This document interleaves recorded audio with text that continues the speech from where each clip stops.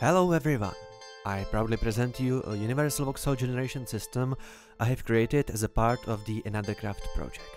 We have decided to release the system under the LGPL license so that anyone can easily integrate it into their own voxel applications.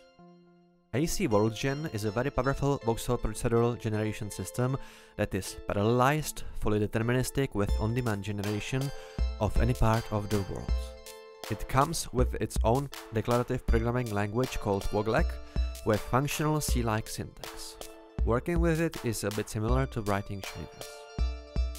The system runs as a standalone application that communicates with the host through standard streams, so it's very easy to make it work with any programming language you use. Let me now demonstrate what the system can do. WOGLAC utilizes functional paradigm each block is defined as a function of the position and implicitly the world seed. Right now, the function says that every block with z less than 20 will be dirt, and every block with z 20 and more will be air. Even with such a simple premise, you can combine various functions to create complex environments. For example, we can use 2D Perlin noise to generate some hills. We can easily combine multiple noises together.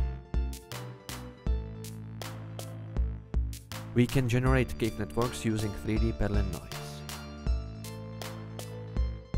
The system also supports Voronoi-based generation and domain warping. The world can be divided into biomes that can be blended together in a user-defined way.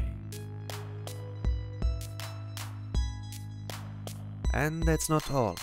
AC Worldgen also has a subsystem for grammar-based generation that can be used to procedurally generate complex structures like dungeons, mazes, or even entire cities. Apart from defining all structures programmatically, you can also design your own prefabricates in the Vox format using tools like Magica Voxel and import them from the language. With all this combined, you can create and fully customize rich, complex, beautiful environments from natural landscapes to alien universes.